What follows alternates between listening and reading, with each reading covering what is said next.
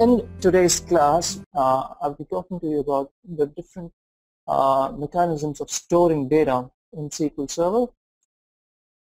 Okay, so now for us to understand how a data is organized, it is important for you to understand how internally SQL Server stores the data.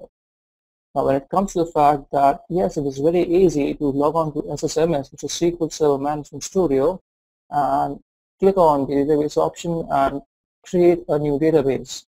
It is as simple as, let me quickly open SQL Server. It is as simple as Object Explorer, database, new database.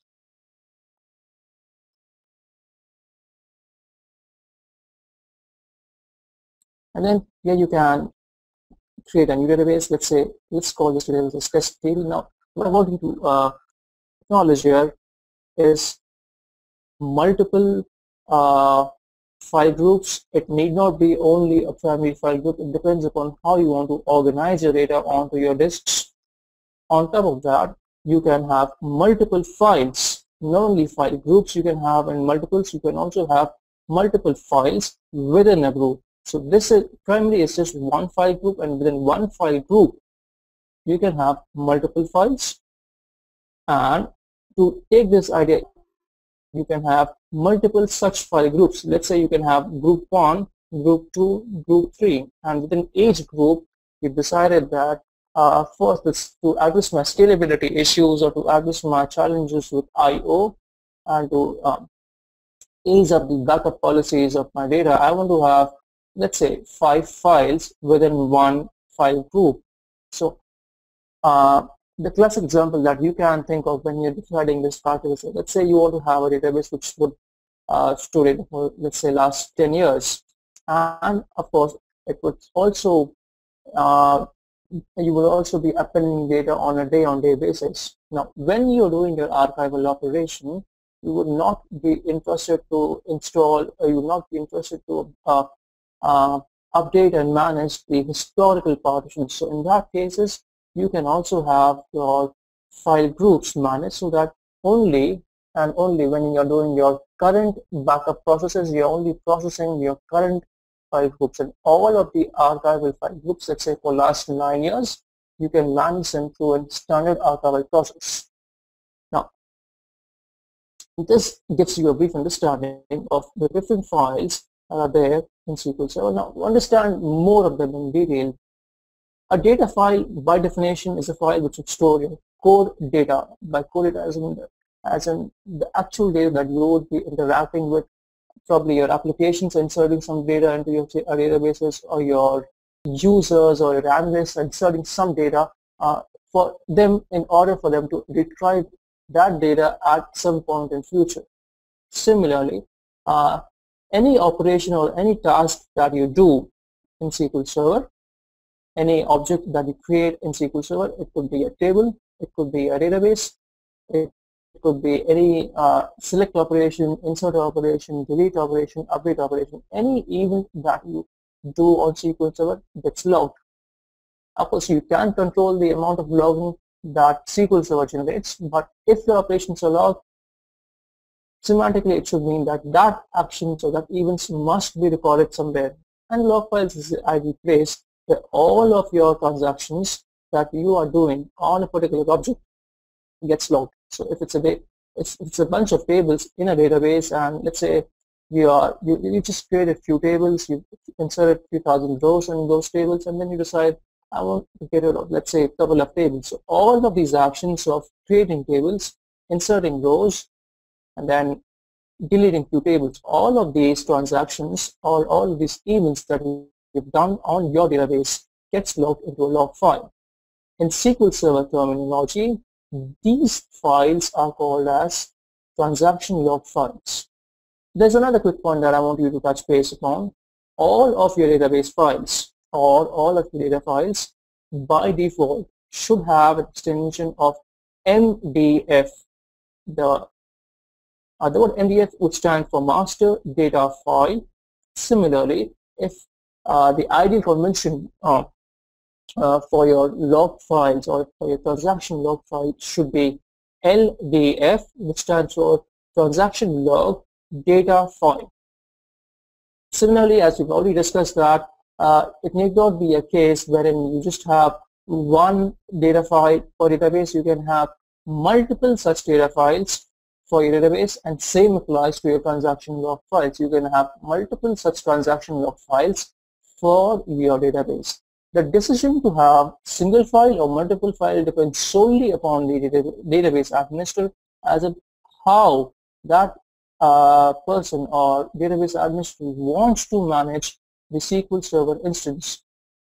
So if you have multiple data files or you have multiple log files, the onus then becomes on the uh, DBA to ensure that each file or even each file group be it for data files or be it for log files are managed efficiently.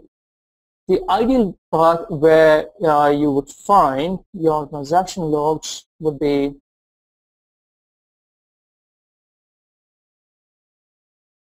let's focus on which works, properties, files, And then if you focus on this part, it would say that uh, so for all the instances that you have on your Windows uh, box, uh, I have a Windows 7 installation on my laptop. The ideal part is the home drive for SQL Server. And as you can see, the home drive for SQL Server 2014 instance is C drive program files, uh, SQL Server, MSSQL 12.MSSQL Server, which is the instance name that I have chosen for my SQL Server. And then within that, uh, the path then follows as the home path of SQL Server installation or the base directory of the installation for my product slash MS SQL slash data. So at this path, SQL Server will create or the DBA can create or can choose to keep the data path or the data file and the log file. But, but ideally speaking, in an uh, enterprise solution or an enterprise-wide solution, uh, you should not choose C drive as your, or you should not choose the OS drive, let's put it this way, you should not choose your OS drive to store your data parts or your log parts because as we discussed this in the earlier class, we said that in a HA-like solution or in a DR-like solution, what if uh, you have to decide or your Windows administrator takes a call to wipe off the OS partition and recreate or rebuild the to recreate or rebuild the OS. Consider the fact that you have kept all your data parts and all your log parts on the OS path. Now that becomes a challenge for the Windows administrator and for you because if that path is formatted or if that path is rebuilt, you are at the potential risk of losing all of your uh, SQL binaries and all of your SQL data, which includes both your SQL Server data and your SQL Server logs. So in an ideal case, and which is also recommended by most practitioners that you should not store your SQL Server data on your OS path. You can choose, uh, let's say if you have multiple partitions and you decided that your C drive would host your OS, then you can probably choose, let's say, D drive, E drive or any other drive to host your uh, data files and your log files. Now, since we are uh, already discussing the fact that you should not choose your OS drive to store your SQL Server data and your SQL Server logs. It is also very important and a recommended practice by most database practitioners that if possible, if your enterprise has the luxury to have multiple drives on your servers, you should always configure your uh, storage of logs and storage of data on different drives altogether. So to give you a quick example, let's say you have uh, five partitions on your hard drive uh, from C, D, E, F, G.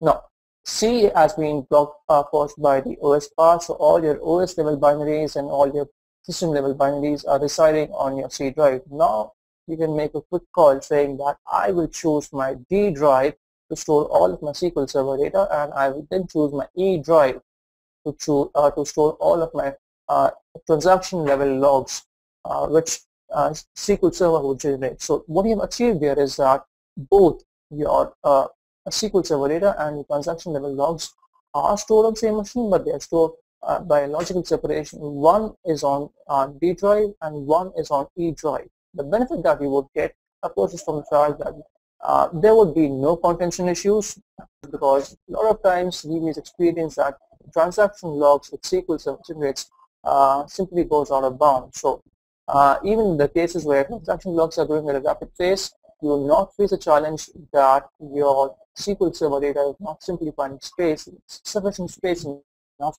for you to run your queries or for you to efficiently manage your databases.